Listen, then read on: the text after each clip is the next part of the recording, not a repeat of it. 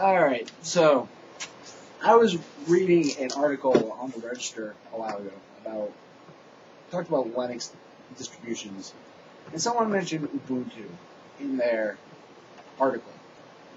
And I was reading through the article. It was a decent article. Um, I was reading the comment section, and I got very, very disheartened by a lot of the stupid bullshit that Linux users debate about. Because at the end of the day, it's really kind of fucking pointless. Um, you know, give me a break.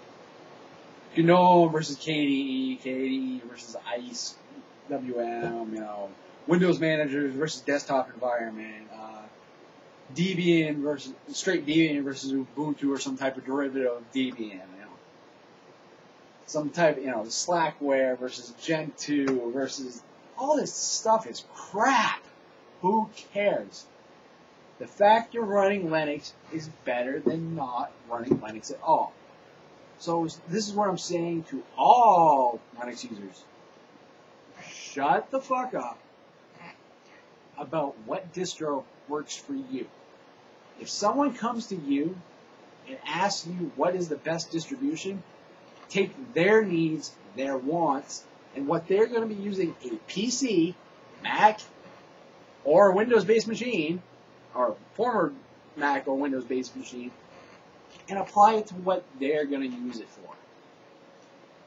If they are into programming, maybe something like Slackware or something along those lines is more of what they want. If they want to customize everything, Gentoo is their way. If they don't care, they're just a general computer user, a setup Debian that you do, or a set pre-installed Ubuntu. Those are going to be your simplest ways for those guys. Now, Fedora and Red Hat, those are kind of more intermediaries to me, you know, as far as their skill level requirements. But for the most part, think of the user's technical abilities, think of the user's willingness to adapt to a new system. Think of the way a user wants to use their system. Stop peddling and pushing the bullshit and think about what other people need. What works for you does not work for everybody. A one size fits all approach does not also work. So Ubuntu is not for everybody. Debian is not for everybody. Fedora is not for everybody. Slackware is not for everybody. Get the point. It boils down to what the person needs and wants. And quite frankly, this, you know, is it GNU, is it GNU Linux, is it KDE versus GNOME or KDE versus XBase? Who cares?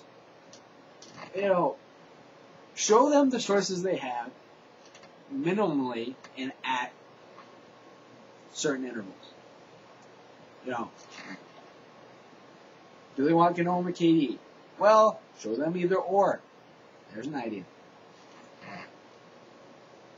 You know, you can debate merits of how a system works, but at the end of the day, use what you use and what works for you.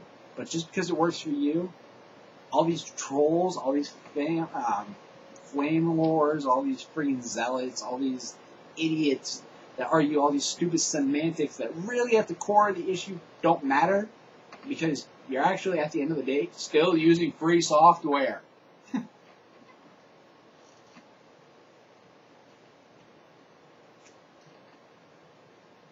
the only way Linux will get a clue and get quote unquote mainstream is put all these stupid petty bullshit arguments aside. We can have 350 different distributions all we want. The fact of the matter is, we argue about this stupid crap, and it crops up on every forum, on every article, on everything. And people see this, and they don't want any part of it. And quite frankly, as a Linux user, I don't blame them. Because it is just so petty and childish and stupid. That's the sad fact of the reality.